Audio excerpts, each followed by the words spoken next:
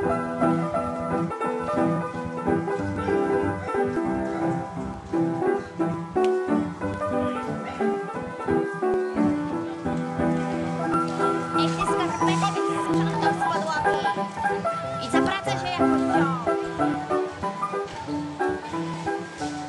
dobry. Szczęście znowu się uśmiechnęło do mnie. Wczoraj miałem klienta, zarobiłem 15 dolców. Jest dobrze. Kowalski, musimy porozmawiać. Cześć! Widzę, że zadowolony z dziarki, ja też. Naprawdę poważna sprawa. Chodzi o moją żonę. Nie mam czasu teraz, potem porozmawiamy. No, a słyszałam, że to... Och, ci klienci, wiecznie zadowoleni. Podziwiam go. Kartofel. Mówię na niego kartofel, bo ma łeb jak kartofel.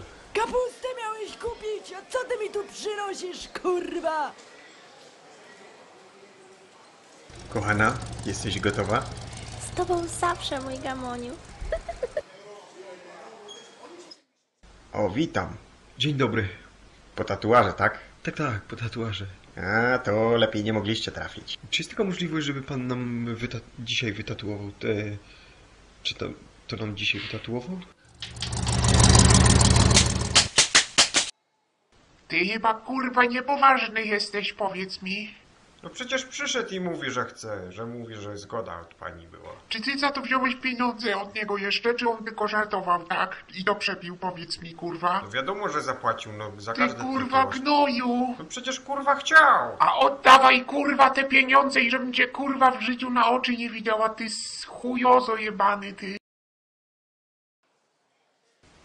Yy, proszę pana, my byś, nam by ba- bardziej pasowało za tydzień przyjść wytatuować się. Kowalski zaczyna zdawać sobie sprawę, że nie potrafi tatuować. Tylko przyjdźcie, bo mało klientów mam ostatnio. Nie ciulajcie się